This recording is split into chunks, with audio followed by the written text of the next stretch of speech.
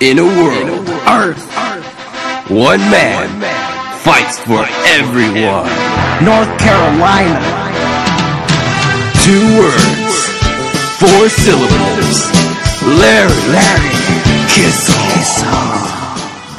Former textile worker turned high school teacher, Larry Kissell is the Democratic incumbent congressman for North Carolina's 8th District.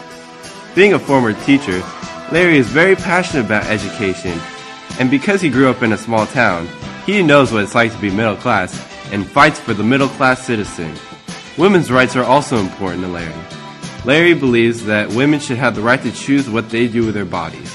Lastly, Larry is an advocate for taking our kids out of Iraq. So, North Carolina, do you think Larry is the right man for the job? Yes! Yes. Yeah. Yeah. Yeah, Yes. we're 100% behind this dream. I'm 150%. I'm Larry Kissell, and I approve this message.